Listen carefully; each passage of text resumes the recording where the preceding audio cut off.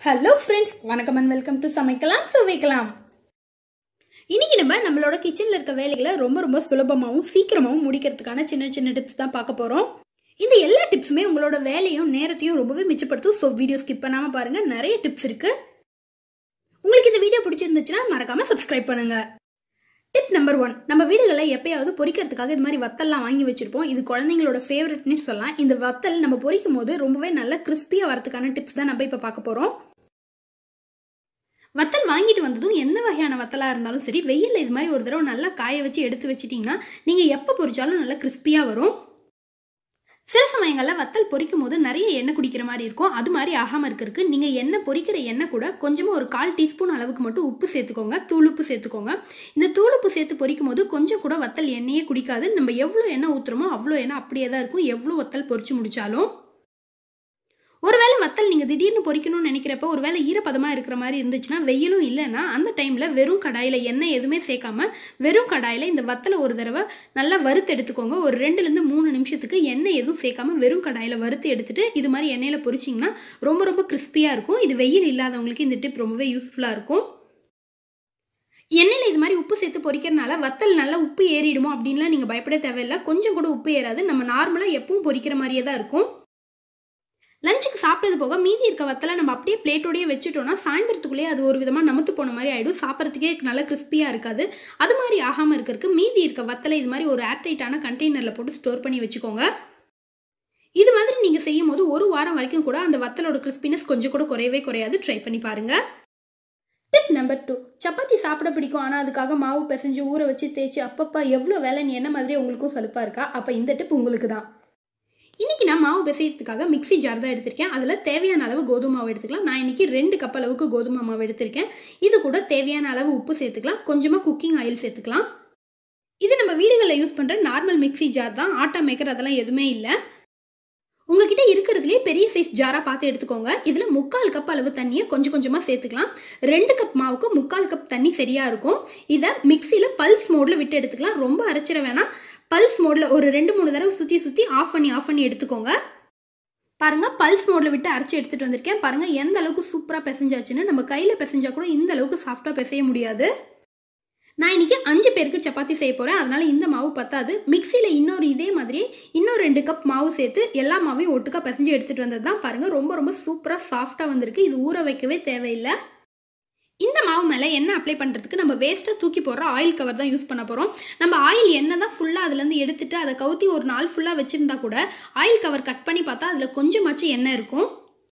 இப்போ அந்த எண்ணெயை தான் நம்ம இப்போ யூஸ் பண்ண போகிறோம் நான் இன்றைக்கி ஊற வைக்காதனால இது இதை கட் பண்ணி அப்படியே இது மேலே வச்சு தேய்க்க போகிறேன் நீங்கள் ஊற வைக்கிறதா இருந்தால் இந்த பேக்கெட்குள்ளேயே போட்டு அப்படியே அந்த மாவை ஸ்டோர் பண்ணி வைக்கலாம்.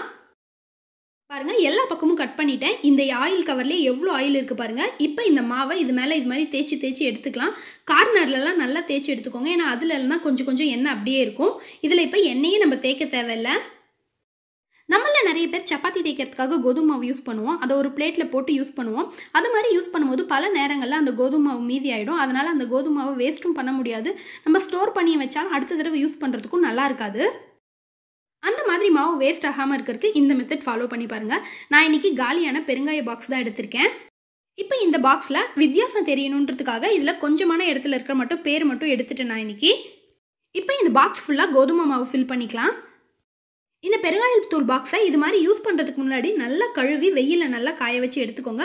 பெருங்காயத்தோட வாசனை கொஞ்சம் கூட இல்லாத மாதிரி பார்த்துக்கோங்க. அது மாதிரி இருந்தால் தான் நம்மளுக்கு யூஸ் பண்ணுறதுக்கு ரொம்ப நல்லாயிருக்கும் இதில் இப்போ தேவையான அளவுக்கு கோதுமை மாவு சேர்த்துக்கிறேன். இது மாதிரி நம்ம இந்த பாக்ஸில் ஸ்டோர் பண்ணி யூஸ் பண்ணும்போது நம்மளுக்கு யூஸ் பண்ணுறதுக்கு ரொம்ப ஈஸியாக இருக்கும். அதே போல் மீதி ஆயிடுச்சுன்னா மாவை ஸ்டோர் பண்ணுறதுக்கும் ரொம்ப ஈஸியாக இருக்கும். பாருங்கள் இதில் ரெண்டு ஹோல்ஸ் இருக்கிறனால நம்ம யூஸ் பண்ணி முடிச்சுட்டு க்ளோஸ் பண்ணுறதுக்கும் ரொம்ப வசதியாக இருக்கும். பெருங்காயத்தூள் பாக்ஸுக்கும் இந்த பாக்ஸுக்கும் நமக்கு வித்தியாசம் தெரியணுன்றதுக்காக கொஞ்சம் இடத்துல மட்டும் அந்த பிரிண்ட்டை நான் ரப் பண்ணி எடுத்திருக்கேன். உங்களுக்கு வேணும்னா மொத்த பிரிண்ட்டையும் நீங்கள் ரப் பண்ணி எடுத்துக்கலாம். நமக்கு சப்பாத்தியோ பூரியோ செய்யும் போது தேவையான அளவுக்கு கோதுமை மாவு மட்டும் இது மாதிரி போட்டு தேய்க்கலாம். இது மாதிரி செய்யும் போது நமக்கு எல்லா பக்கமும் மாவு சிந்தி வேலையும் அதிகமாகாது. இதே போல் நம்ம சேனலில் நிறைய டிப்ஸ் வீடியோஸ் இருக்குது ஒரு தடவை நீங்கள் செக் பண்ணி பாருங்கள் அது எல்லாமே உங்களுக்கு ரொம்ப ரொம்ப யூஸ்ஃபுல்லாக இருக்கும். பிடிச்சிருந்தால் நம்ம சேனலை மறக்காமல் சப்ஸ்கிரைப் பண்ணுங்கள் கொஞ்சம் கூட கோதுமை மாவு வேஸ்ட் ஆகாமல் நமக்கு தேவையான சப்பாத்தியோ பூரி மாவும் தேய்ச்சி எடுத்துக்கலாம். இந்த டிப் பிடிச்சிருந்தா நம்ம வீடியோக்கு ஒரு லைக் கொடுங்க. நம்பர் த்ரீ நம்ம வீடுகளில் அடிக்கடி இடியாப்பம்லாம் செய்வோம். அது மாதிரி செய்யும் போது அந்த இடியாப்பம் மேக்கரில் ஃபஸ்ட்டு நம்ம மாவு போடும்போது ஈஸியாக இருக்கும் பிழியறதுக்கு. ஆனால் லாஸ்ட்டில் போக போக பிழியறதுக்கே ரொம்ப கஷ்டமாக இருக்கும். டைட்டாகவும் ஆகிடும் மாவு. அதுக்கான ரீசன் என்னன்னு பார்த்தீங்கன்னா நம்ம இடியாப்ப மேக்கரில் லாஸ்ட்டு நம்ம மாவு புழியும் போது மாவெல்லாம் அந்த ஹோல்ஸில் போயிட்டு நல்லா டைட்டாகிடும் காற்று போகிறதுக்கு இடமே இருக்காது. அதனால தான் நமக்கு பிழியறதுக்கு ரொம்ப கஷ்டமாக இருக்கும். மாவும் வெளியே வராது. அது மாதிரி ஆகாமல் இருக்கிறதுக்கு நம்ம இது மாதிரி பிழிஞ்சு எடுத்ததும் கடைசியாக பாருங்கள் எந்த அளவுக்கு மாவு நல்லா டைட் ஆகிடுச்சுன்னு இதை கொஞ்சம் லூஸ் பண்ணுறதுக்கு நம்ம வீட்டில் இருக்க ஸ்பூனோ இல்லைன்னா ஏதாச்சும் ஒரு குச்சி மாதிரி எடுத்து அதை ஹோல்ஸ் மாதிரி போட்டுக்கலாம். நான் இன்னைக்கு பணியாரம்லாம் திருப்பருக்கு யூஸ் பண்ணுவோம் பாருங்களா? அந்த மாதிரி குச்சி தான் நான் எடுத்திருக்கேன். இதை வச்சு ஒரு நாலஞ்சு தடவை ஒரு ஹோல்ஸ் மாதிரி போட்டு எடுத்துக்கலாம். குத்தி எடுத்துக்கலாம். அது மாதிரி செய்யும் போது அதில் நல்லா காற்று போயிடும். அதனால் நமக்கு பிழியறதுக்கும் ரொம்ப ஈஸியாக வரும். இது மேலேயே இப்போ நம்ம புதுசாக வச்சுருக்க மாவையும் சேர்த்துடலாம்.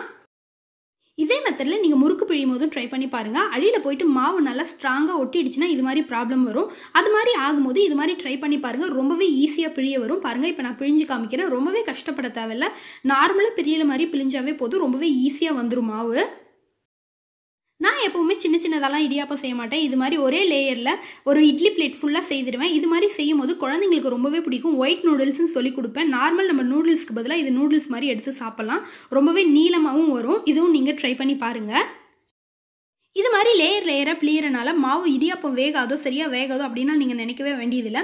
நம்ம சுடு தண்ணி ஊற்றி தான் இந்த மாவு பிசைஞ்சிருக்கோம். அதனால் ஒரு அஞ்சுலேருந்து ஆறு நிமிஷம் வச்சு எடுத்தால் போகும் இதோட எல்லா லேயரும் நமக்கு சூப்பராக ரெடியாகி வந்துடும் நீங்களும் நிச்சயம் ஒரு தடவை வீட்டில் ட்ரை பண்ணி பாருங்கள் இது மாதிரி நீங்கள் செய்து எடுத்துகிட்டு உங்களுக்கு வேணும்னா நம்ம கடைகளில் விற்கிற மேகி மசாலாலாம் இருக்கும் பாருங்களா அதை நல்லா எண்ணெயில் ஒரு தடவை தாளிச்சிட்டு இந்த நூடுல்ஸையும் சேர்த்துட்டு ரைஸ் நூடுல்ஸாக குழந்தைங்களுக்கு கொடுக்கலாம். ரொம்பவே சூப்பராக இருக்கும் ஹெல்த்தியாகவும் இருக்கும். நிச்சயம் ட்ரை பண்ணி பாருங்கள் ட்ரை பண்ணி பார்த்து எப்படி இருந்துன்னு மறக்காமல் உங்களோட கமெண்ட்ஸ் எங்களுக்கு சொல்லுங்கள் டிப் நம்பர் ஃபோர் நம்ம வீடுகளில் நார்மலாக வாழைப்பூ வச்சு வாழைப்பூ குழம்பு பொரியல் கூட்டு ஏன் கோலா உருண்டெல்லாம் கூட செய்வோம். ஆனால் நம்ம இன்றைக்கி புது விதமாக சில்லி செய்ய போகிறோம் இந்த சில்லி செய்யறதுக்கு நம்ம இன்னைக்கு ஒரு கப் அளவுக்கு அரிசி மாவு எடுத்துக்கலாம். இது கூட கால் கப் அளவுக்கு கடலை மாவு எடுத்துக்கலாம்.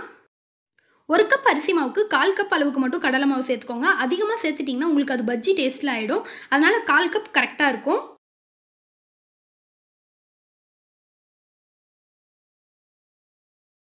ஒரு பவுலில் நம்ம எடுத்து வச்சிருக்க அரிசி மாவு கடலை மாவு சேர்த்துக்கலாம். இது கூட காரத்துக்காக ரெண்டு டேபிள் ஸ்பூன் அளவுக்கு மிளகாய் தூள் சேர்த்துக்கிறேன். இது காஷ்மீரி மிளகாய் தூள். நமக்கு கலர் ரொம்ப சூப்பராக கிடைக்கும். அதுக்காக நான் இன்றைக்கி காஷ்மீரி தூள் எடுத்திருக்கேன். நீங்கள் இதுக்கு பதிலாக நார்மலான சில்லி பவுடர் கூட சேர்த்துக்கலாம். இது கூட ஒரு டீஸ்பூன் அளவுக்கு தனியா தூள் சேர்த்துக்கலாம். கால் டீஸ்பூன் அளவுக்கு கரம் மசாலா சேர்க்கலாம். கூடவே கொஞ்சமாக இஞ்சி பூண்டு பேஸ்ட் சேர்த்துக்கலாம். நம்ம இதில் கரம் மசாலா சேர்க்கறனால இதோட ஃப்ளேவர் ரொம்பவே சூப்பராக இருக்கும். இது கூட ஒரு டேபிள் ஸ்பூன் அளவுக்கு மட்டும் புளிக்காத தயிர் சேர்த்துக்கலாம்.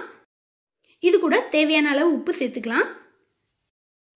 இப்போ இந்த சில்லி நல்லா கிறிஸ்பியாக வரத்துக்கு சூடாக இருக்கிற எண்ணெய் மிதமான சூடில் இருக்க எண்ணெய் ஒரு டேபிள் ஸ்பூன் அளவுக்கு சேர்த்துக்கலாம். சேர்த்துட்டு தண்ணி எதுவும் சேர்க்காம ஃபஸ்ட்டு நல்லா இதை ட்ரையாக மிக்ஸ் பண்ணிக்கலாம். தயிர் எண்ணெய் கூட நல்லா மிக்ஸ் ஆகட்டும். அப்புறம் தேவைக்கு தகுந்த மாதிரி தண்ணி சேர்த்துக்கலாம். இதில் கொஞ்சம் கொஞ்சமாக தண்ணி சேர்த்து நம்ம சில்லி எல்லாம் போடுவோம் பார்த்தீங்களா அந்த அளவுக்கு மாவு மாதிரி நல்லா ரெடி பண்ணி எடுத்துக்கலாம். நான் இன்னைக்கு ஒரு கால் கப் அளவுக்கு தண்ணி சேர்த்துருக்கேன் இதில். இதில் நம்ம இப்போ எடுத்து வச்சிருக்க வாழைப்பூ சேர்த்துக்கலாம். வாழைப்பூ சேர்த்துட்டு தண்ணி எதுவும் முக்கியமாக சேர்க்கவே வேணாம். இந்த வாழைப்பூ கூட எல்லா வாழைப்பூ கூடையும் இந்த மிக்ஸ் நல்லா ஒட்டுற மாதிரி நல்லா பிசைஞ்சு விட்டுக்கோங்க. இது நல்லா பிசைஞ்சிட்டு ஒரு அரை மணி நேரம் மட்டும் நல்லா ஊற வச்சு எடுத்துக்கோங்க. அது மாதிரி செஞ்சால் நமக்கு நல்லா இன்னும் வாழைப்பூக்குள்ளெல்லாம் நல்லா காரம் இறங்கி சூப்பர் டேஸ்ட்டாக இருக்கும். உங்களுக்கு ஊற வைக்க டைம் இல்லைன்னு சொன்னால் ஒரு பத்து நிமிஷமாச்சும் மினிமம் கண்டிப்பாக ஊற வைங்க. அப்போ தான் அதோட டேஸ்ட்டு சூப்பராக இருக்கும். இப்போ இது ஒரு அரை மணி நேரம் ஊற வச்சு எடுத்துக்கலாம். அரை மணி நேரம் ஆயிடுச்சு நல்லா ஊறிடுச்சு. இப்போ இது ஒரு தடவை நல்லா எல்லா பூவையும் நல்லா மிக்ஸ் பண்ணி எடுத்துட்டு இப்போ எண்ணெயில் பொறிச்சு எடுத்துக்கலாம். இது மிதமான சூட்டில் இருக்க எண்ணெயில் போட்டு நல்லா பொறிச்சு எடுத்துடலாம். நீங்கள் பொரிக்கும் போது ஒன்று ஒன்றா போட்டு எடுத்தீங்கன்னா நம்மளுக்கு சாப்பிடும்போது ரொம்ப சூப்பராக இருக்கும். குழந்தைங்களுக்கு ரொம்ப பிடிச்சமானதாக இருக்கும். அடுத்த தடவை வாழைப்பூங்கன்னா நிச்சயம் ஒரு தடவை ட்ரை பண்ணி பாருங்கள் உங்கள் வீட்டு குழந்தைங்க என்ன சொன்னாங்கன்னு மறக்காமல் கமெண்ட்ஸில் சொல்லுங்கள் இது என்னோட குழந்தைங்களுக்கு ரொம்ப ரொம்ப பிடிச்சமான ஸ்நாக்ஸு விரும்பி சாப்பிடுவாங்க.